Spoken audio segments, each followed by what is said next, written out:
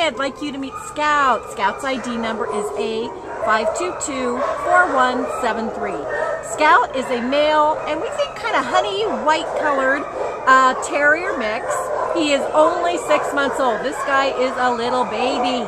He weighs five pounds. He'll probably get to be maybe about eight or nine uh, when he's full grown.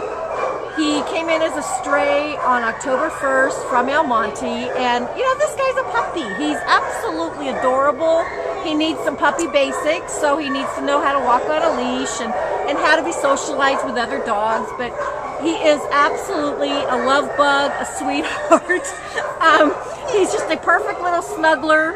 Um, he'll make a great family pet for anyone. Um, you just have to be um, conscious that he's he is a little dog, so he has you know kids need to be a little careful with him um, because of his small size. But he um, once he gets out of here, we think he's just going to be this great little guy. Um, right now, he's a little scared and a little shut down and doesn't quite understand why he's here.